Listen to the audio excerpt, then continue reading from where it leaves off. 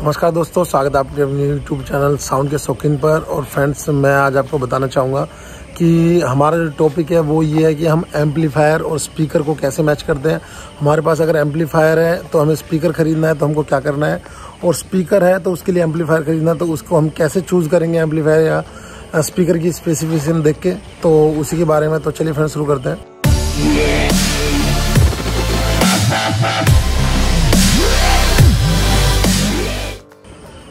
Friends अगर मैं बात करूँ एम्पलीफायर की स्पेसिफिकेशन की, अगर हमारे पास स्पीकर है, हमको एम्पलीफायर ख़रीदना है या हमारे को दोनों ही ख़रीदना है तो उस केस में फ्रेंड्स हमको हमारी एम्पलीफायर की स्पेसिफिकेशन देखनी पड़ेंगी। तो स्पेसिफिकेशन में एम्पलीफायर की हमको जो मोस्ट कॉमन है, वो हमको देखना है कि कितने इम्पिडेंस पे, कितने ओम पे हमारी कितने आउटपुट दे रहा है और कितने चैनल का है। तो हमको मेन उसी चीज़ का ध्यान रखना है कि चार ओम पे सपोज़ हमारा हज़ार वाट आउटपुट दे रहा है। तो आप ये मान के चलें, अगर दो ओम पे होगा तो वो हमारा और ज़्यादा आउटपुट देगा।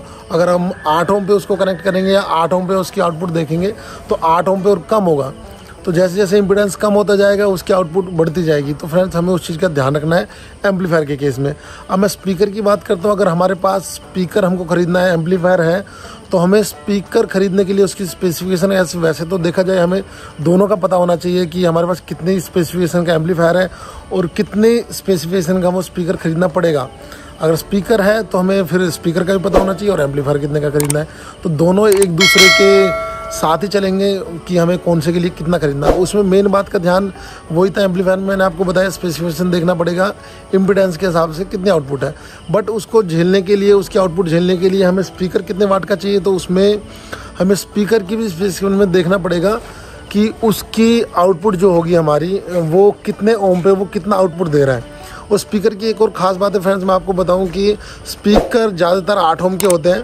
अगर ऊँचा में जाएँगे तो केवल सोलह ओम के भी होते हैं तो 90 परसेंट जो स्पीकर होते हैं, जो हम प्रोफेशनल यूज़ करते हैं, स्पीकर के लिए वो आठ ओम के होते हैं।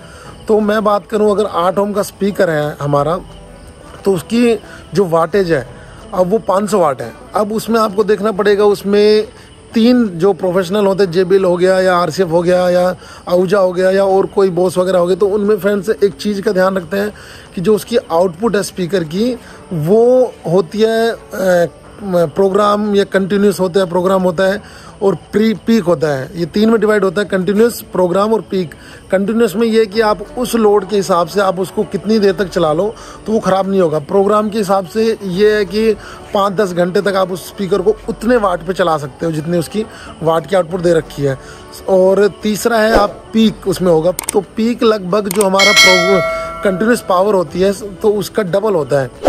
मेरे कहने का मतलब ये है कि हमारे पास अगर कंटिन्यूस पावर में उसको 500 सौ वाट अब आपको देखना पड़ेगा उसकी जो 500 सौ वाट स्पेसिफिकेशन लिख रखी है, आठ ओम पे तो वो कितने पीक है कंटिन्यूस है या प्रोग्राम है, वो कितने पे दे रखा है वो 500 वाट वो आपको देखना पड़ेगा।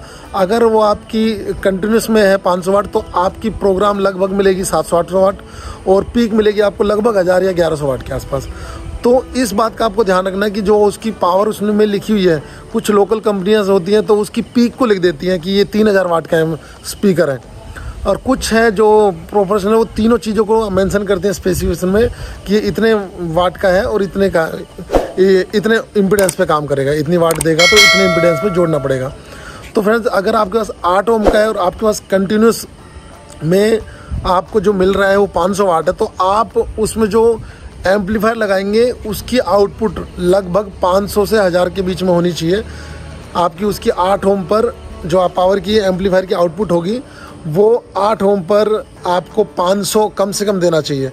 और मैक्सिमम आपको उसको हज़ार तक भी ले सकते हैं बट उस बात का ध्यान रखें कि हज़ार पे देने पे रिस्क ज़्यादा है। तो आप डेढ़ गुना इसका मानते हैं, जो थ्योरेटिकल है, मैं बहुत जीत जगह देखा, जो थ्योरेटिकल कहीं मिल जाए। बट सभी लोगों ने अपने अपने हिसाब से अपनी अपनी थ्योरी बना रखी है। बट मैं मानता हूँ कि उसको आप पीक पर ना लेके, आप 500 से लेके और उसको 700 तक उसकी आउटपुट रखें। आठ ओम पर तो वो ज़्यादा अच्छा रहेगा, उसकी लाइफ स्पीकर की ज़्यादा अच्छी रहेगी। होता क्या अगर पीक पे अगर चलता है, ज़्यादा वाट पे चलता है तो उसकी जो कोयल होती है, वो ज़्यादा करंट लेने की वजह से वो काली पड़ जाती है धीरे धीरे और वो कुछ दिन बाद या कुछ टाइम बाद, कुछ पीरियड में ख़राब जल्दी हो जाएगा स्पीकर अगर स्पीकर फूकने का भी मेन रीज़न यही रहता है कि ज़्यादा अगर लोड होगा एम्पलीफायर पे तो एम्पलीफायर वो डीसी वोल्टेज उसमें देना शुरू कर देता है, जिससे उसका जो वायर होता है कोयल होती है, वो ख़राब होनी शुरू हो जाती है। तो उस बात का आप उसमें ध्यान रखें कि शायद अगर आपकी समझ में आ गया हो तो मैं बस इतना ही बताना चाह रहा हूँ कि जो हमारा इम्पिडेंस मैचिंग होना चाहिए दोनों स्पीकर और वाटेज के हिसाब से। एक्चुअली स्पीकर की तरफ़ बात करूँ तो स्पीकर की तरफ़ हमारा इम्पिडेंस फिक्स होता है। इस बात को देखें कि स्पीकर का जो इम्पिडेंस होता है, वो फिक्स होता है। उसकी वाटेज भी फिक्स होती है। बट एम्पलीफायर का जो हमारी आउटपुट है, वो डिपेंड करती है हमने कितने इम्पिडेंस में लगाया है।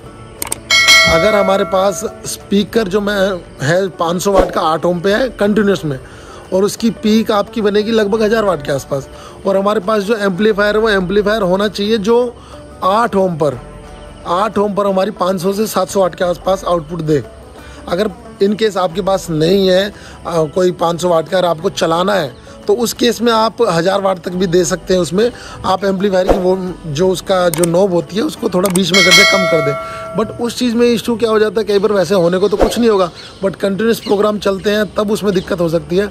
चलाने को हम कई बार केस होता है तो सौ वाट के स्पीकर को हम हज़ार वाट्स के एम्पलीफायर से चला लो उसमें लेवल कम रख लेते हैं वो भी चलेगा।